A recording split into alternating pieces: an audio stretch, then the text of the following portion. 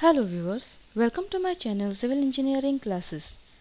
In this tutorial we are going to learn about the offset command. So let's start with this tutorial. For a civil engineer, offset command is very useful while drawing any plans because most of the work is done with the help of this offset command. So let's see how to use this command. Shortcut key for offset is O. Before starting, we'll set our limits here. We'll give limits command.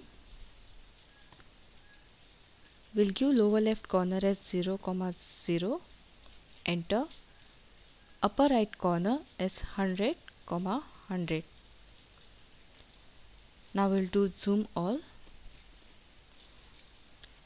If you don't know how to set the limits, then you can refer to our previous videos wherein I have explained how to set the limits and what is the use of setting the limits. First, I'll draw a line here by using the line command. Now I want a copy of this line parallel to it at a specific distance. So what I'll do is, I'll give offset command. Shortcut key for offset is O. So I'll give this O, enter. Now here they are asking specify offset distance. I'll give it 5 enter. Now select the object. Now move it at your right or left as you want and click. You'll get offset of this object. Now you can click on this line and move it further and make more copies. Now now suppose if you want multiple copies of this object then what you do is give command offset. I'll give offset distance as 5 enter. Select the object. Now here there is an option multiple. Click on this. Now you can give as many copies you want. You can offset it as many times you want. It will also give you the distance between the original object and the last offsetted object Similarly, if there is any other object like there is a rectangle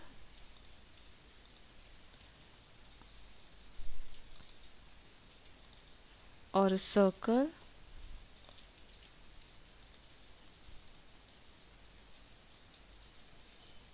you can offset these objects by taking the command O enter.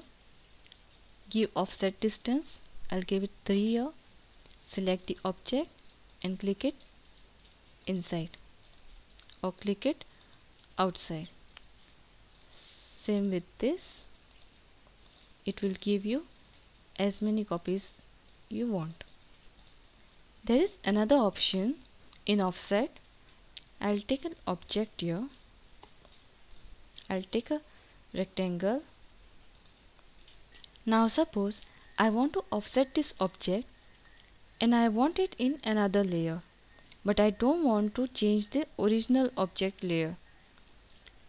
Now here I already have some layers. I'll choose one of this. Now here I'll give offset command O enter. Now here there is an option layer. Click on this layer. Now again you'll get these options current and source. If you click on current here you'll get instruction specify offset distance. I'll give 4 enter. Now select the object and click it inside or click it outside.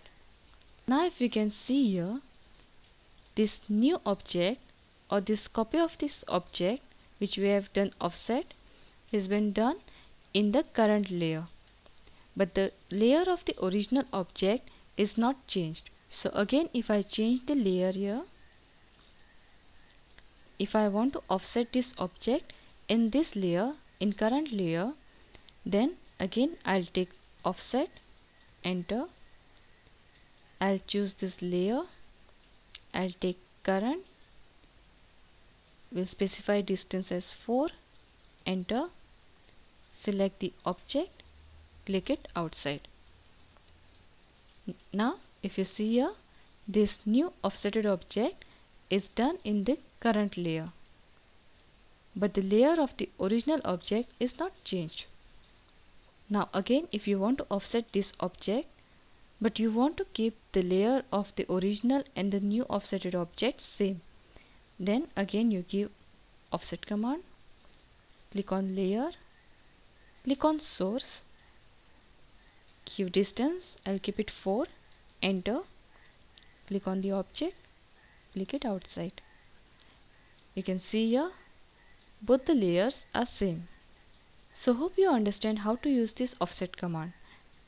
If you like this video please like and subscribe our channel to learn more about the AutoCAD. Thanks for watching. Have a nice day